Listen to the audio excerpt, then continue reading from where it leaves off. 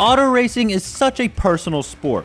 With there being so many different types of racing, you can truly pick your own unique racing, from Le Mans to NASCAR to Formula One.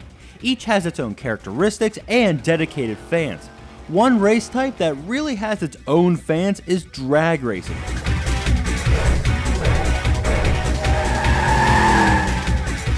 Everyone has heard of drag racing, and many have tried it in their local parking lots. But in terms of professional, many people are lost.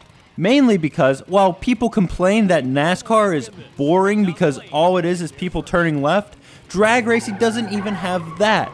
It is normally one on one racing in a straight line.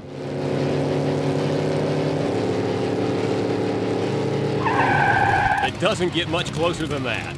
Well, Bethesda Software, yes, that Bethesda Software, decided that while they were not presenting giant fantasy lands for you to live in, they would bring the excitement of IHRA drag racing to the PlayStation. And the results speak for themselves.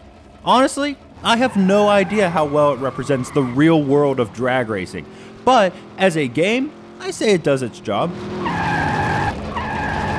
That's how you get it done. The game offers a few different modes to race it. You can enter into a quick race, which randomly selects your car and track and throws you right into the action. Or you can enter into a single race, which opens up more options. But most of the time will be spent in the career mode. Here, you race through a season of events against other drivers, winning races and having your name rise up the world rankings. The races are what you would expect. You accelerate until the finish line. You can boost with turbo, but run the risk of exploding your engine. All risk versus reward. Then, before you know it, the race is over and it's on to the next one. The game is focused on the all important cash, moolah, guap, you know, money. Your money is shared across race types, not being restricted to just a career mode. Every race that you enter into has an entrance fee. Winning races will earn you more money, which you can then spend on new engines, tires, or transmission. It's cool how the vehicles are not just one body type, with some being like souped up cars and others being top fuel types. There's only one way to win this straight down the lane and get there first.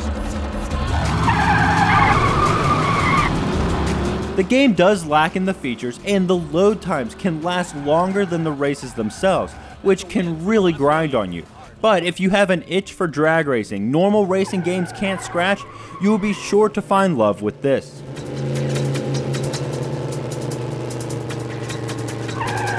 Right lane takes it to victory.